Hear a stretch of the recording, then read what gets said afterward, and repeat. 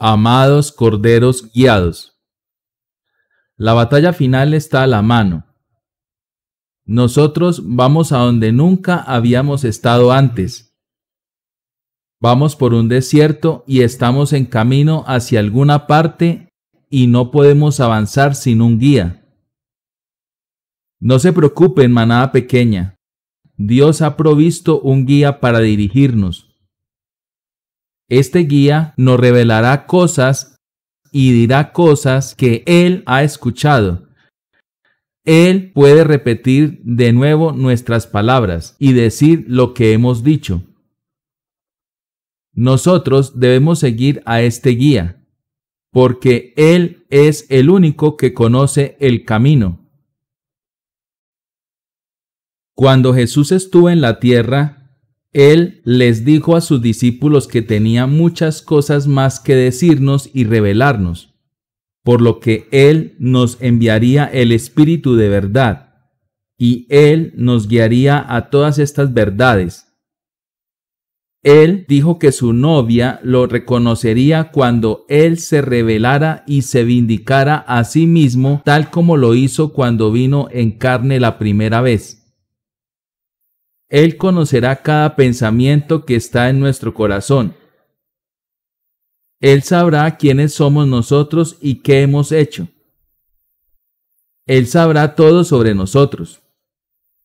Él es el guía de Dios, el Espíritu Santo viviendo y revelándose a sí mismo en carne humana. Tal como Jesús mismo dijo, no soy yo el que hace las obras, es mi Padre que mora en mí. De cierto os digo, no puede el Hijo hacer nada por sí mismo, sino lo que ve hacer al Padre. Eso hace el Hijo igualmente. El Padre trabaja y yo trabajo hasta ahora.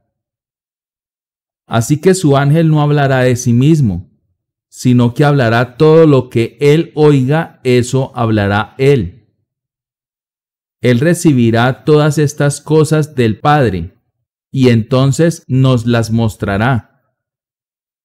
Él revelará todos los misterios que estaban ocultos en la palabra.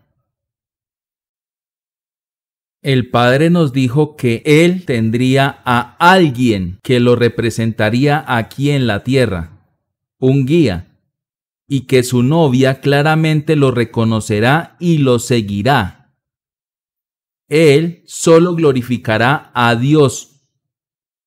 Él dirá claramente, esto no es Él, el séptimo ángel. Esta es la manifestación del Hijo del Hombre. Esto es el misterio de Dios siendo revelado. Esto no es un hombre, este es Dios él no es el Hijo del Hombre. Él es el mensajero del Hijo del Hombre. El Hijo del Hombre es Cristo. Él es aquel de quien nos estamos alimentando. Muchos dirán que ellos son los ungidos para guiar a la novia, pero Dios no quiere que ustedes dependan de su propio entendimiento o de sus propios pensamientos, ni de ningún pensamiento hecho por el hombre. Dios envía un guía y Dios quiere que ustedes recuerden que ese es su guía asignado. Nuestro guía no va a tomar a uno por aquí y a otro por allá y decir, ustedes deben escuchar a este predicador y luego deben escuchar a ese predicador. Ellos ni siquiera están de acuerdo unos con otros. ¿Cómo podría a usted perfeccionarle eso? Solamente hay una palabra perfecta que nos llevará y nos mantendrá unidos. Su voz, palabra perfecta, vindicada en la cinta. Ellos dicen que hoy en día el Espíritu Santo nos está guiando a cada uno como individuos, lo cual es cierto. Entonces, ¿por qué tener un predicador si a usted lo está guiando el Espíritu Santo? Escúchese usted mismo. ¿Prefiero tener a un predicador guiándome y enseñándome y no al profeta vindicado de Dios? ¿Prefiero tener su interpretación de la palabra que escucharla directamente de la voz de Dios mismo?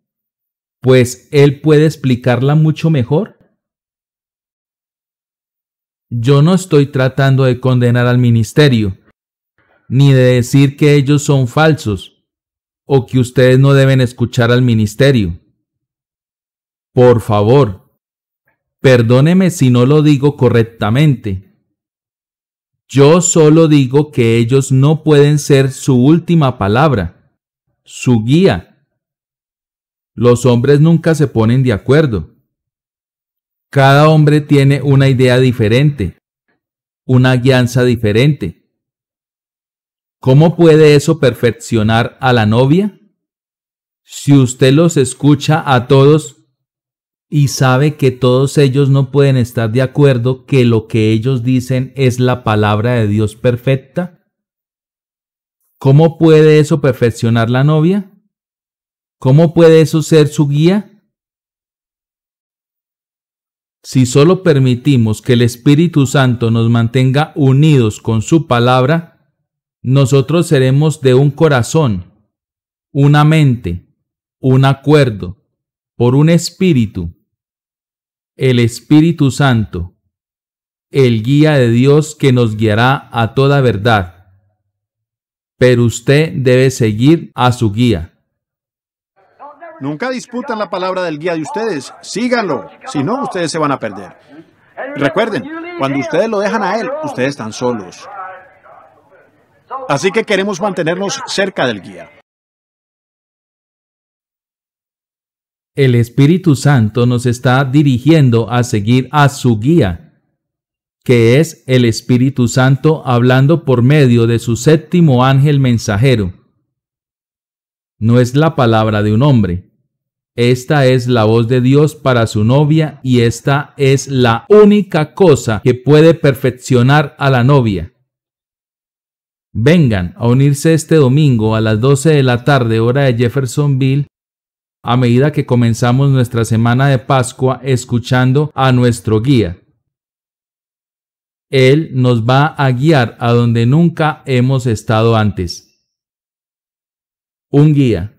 Sermón predicado el 14 de octubre de 1962.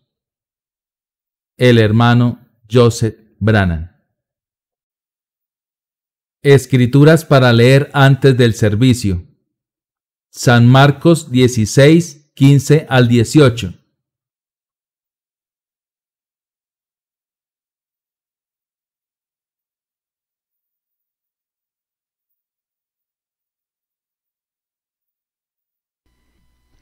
Y les dijo, Id por todo el mundo y predicad el Evangelio a toda criatura. El que creyere y fuere bautizado será salvo, mas el que no creyere será condenado. Y estas señales seguirán a los que creen. En mi nombre echarán fuera demonios, hablarán nuevas lenguas, tomarán en las manos serpientes, y si bebieren cosa mortífera no les hará daño. Sobre los enfermos pondrán sus manos y sanarán. San Juan 1.1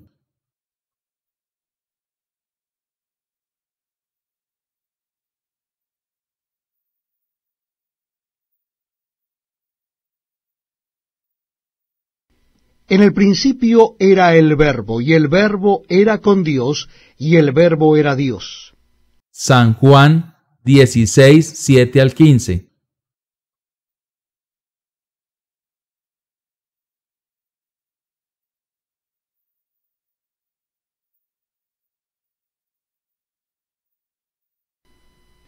Pero yo os digo la verdad. Os conviene que yo me vaya, porque si no me fuera, el consolador no vendría a vosotros, mas si me fuere, os lo enviaré. Y cuando él venga, convencerá al mundo de pecado, de justicia y de juicio. De pecado por cuanto no creen en mí. De justicia por cuanto voy al Padre y no me veréis más. Y de juicio por cuanto el príncipe de este mundo ha sido ya juzgado. Aún tengo muchas cosas que deciros, pero ahora no las podéis sobrellevar. Pero cuando venga el Espíritu de verdad, el cual os guiará a toda verdad, porque no hablará por su propia cuenta, sino que hablará todo lo que oyere, y os hará saber las cosas que habrán de venir. Él me glorificará, porque tomará de lo mío y os lo hará saber. Todo lo que tiene el Padre es mío, por eso dije que tomará de lo mío y os lo hará saber. Hechos 2.38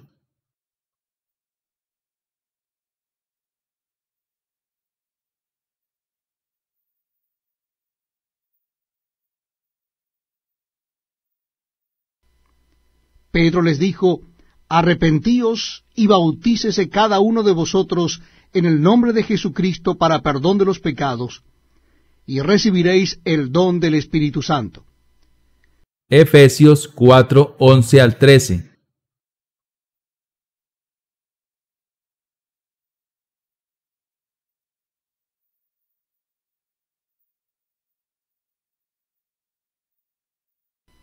Y él mismo constituyó a unos apóstoles, a otros profetas, a otros evangelistas, a otros pastores y maestros, a fin de perfeccionar a los santos para la obra del ministerio, para la edificación del cuerpo de Cristo, hasta que todos lleguemos a la unidad de la fe y del conocimiento del Hijo de Dios, a un varón perfecto, a la medida de la estatura de la plenitud de Cristo. Efesios 4:30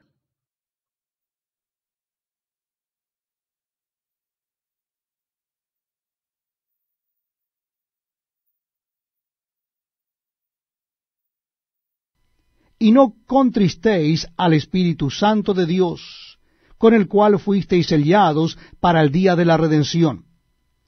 Hebreos 4:12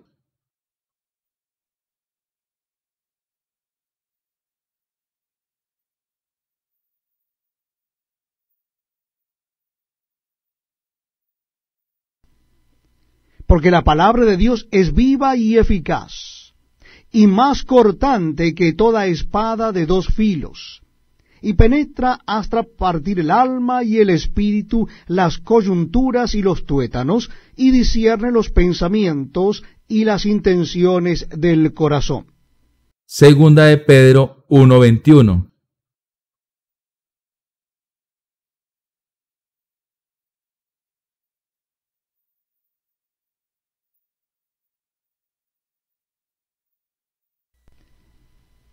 porque nunca la profecía fue traída por voluntad humana, sino que los santos hombres de Dios hablaron siendo inspirados por el Espíritu Santo. Éxodo 13, 21